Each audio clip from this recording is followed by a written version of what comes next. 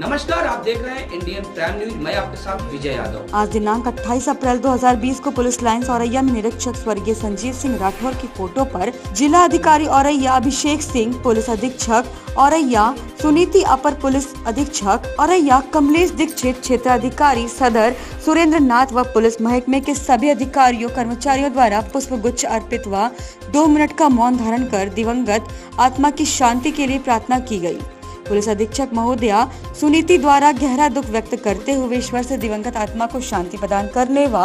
साकुशल परिवार को असीम पीड़ा सहन करने की शक्ति प्रदान करे और यह संवाददाता एस के यादव की खास रिपोर्ट